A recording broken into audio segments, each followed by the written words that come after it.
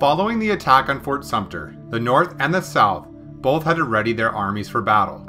The North and the South had vastly different accommodations when it comes to leadership, militaries, resources, and strategies. The North were led by newly elected President Abraham Lincoln. Many doubted Lincoln's ability to win the war because he was an inexperienced leader and he lacked a military background. However, Lincoln listened to his generals and was a dedicated, patient, and intelligent commander in chief who learned the importance of military strategy. Lincoln closely monitored telegraph communications from the front and would directly give orders to his generals from Washington, D.C. He also had the ability to enact necessary measures that would unify the nation behind the war effort by way of a strong central government. He suspended the writ of habeas corpus, allowing him to jail suspected Confederate sympathizers and quickly neutralized potential threats. The South was led by Jefferson Davis, the newly elected president of the Confederacy.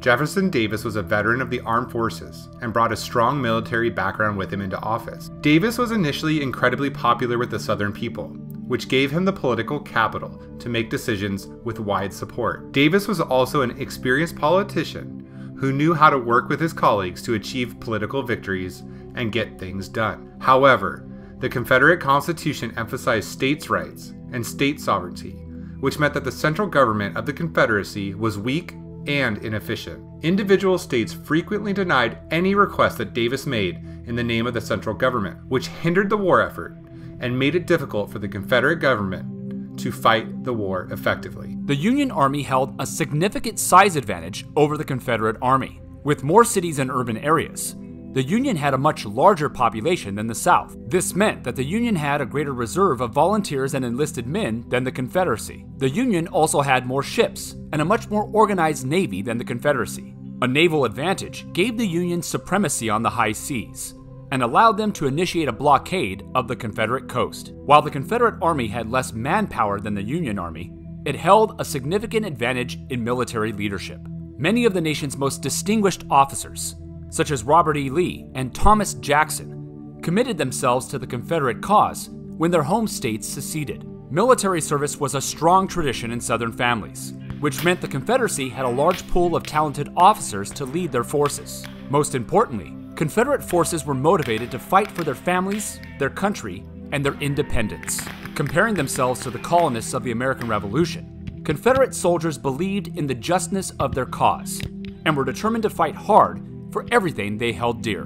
Resources for the North and the South also varied drastically. In the Union, years of industrialization and development led to a significant advantage in technology, manufacturing, and supplies for the Union. A greater number of factories in industrialized northern cities meant that the Union could mass produce weapons and equipment with a larger workforce. The North also had an advantage in food production, and the more sophisticated banking system in the North meant the Union had an easier time raising money for the war effort. The Union also had a much larger and much more efficient railroad system, which allowed the government to quickly move supplies and men to locations where the Union Army needed them. The North's extensive telegraph system also gave the Union an advantage in communication during the war, allowing messages to be dispatched quickly to more populated and remote areas. In the Confederacy, due to their agrarian economy, the southern states that seceded and formed the Confederacy were not as industrialized as the North. With fewer major cities, the South did not have many factories, and with a smaller population, the Confederate workforce was much smaller than the North. As a result, the Confederacy had a difficult time mass producing weapons, equipment, and other supplies. Southern plantations were configured for cash crop production, which meant that the South could not produce as much food to feed the soldiers and their civilians. Southern states had less than 50% of the mileage of railroad track that the North had, and their allotment of railroad cars was vastly inferior. This made it extremely difficult for the Confederate government to ship men and supplies to remote battlefields to meet the needs of the military. The Union's main objective in the war was to bring the southern states back into the Union and reunify the country. The Union strategy to win the war had several components.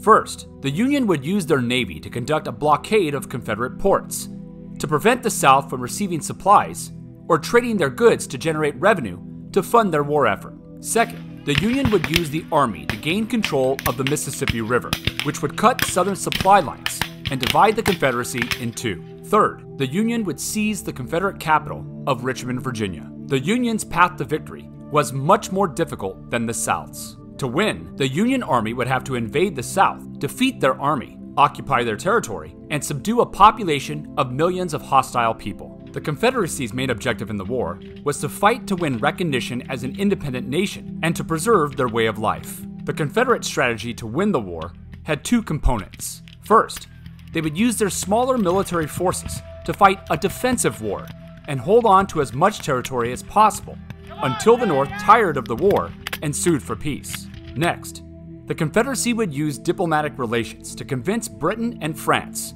nations that relied on the South's cotton, to recognize their independence and pressure the Union into ending the war. Southern military leaders and the Confederate government were willing to take risks and change their strategy to a more offensive plan to win the war.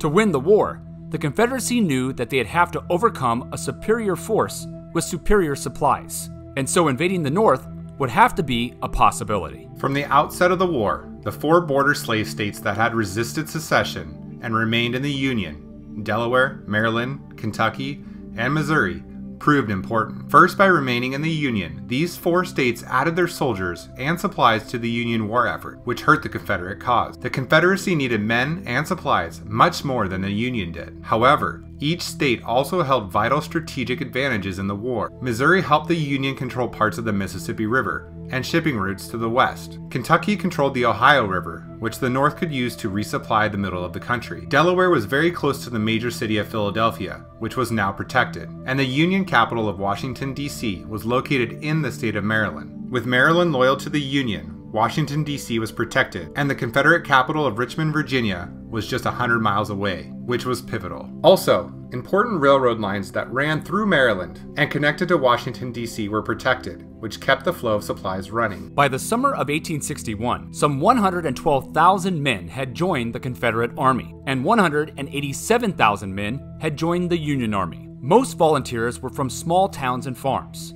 and the average age for a soldier was 25 years old. However, 40% of the soldiers in the war were 21 or younger. The war divided families, pitting fathers against sons and brothers against brothers. It was not uncommon to see brothers from the same family join different sides of the conflict and fight against each other. Even the president was not exempt. Abraham Lincoln had relatives from his wife's family fighting for the Confederacy. The men who rushed off to war were eager to fight and earn glory on the battlefield as heroes of the war between the states. When the war began, each side expected a quick and easy victory. They would soon learn that it was to be a long, costly, and bloody war.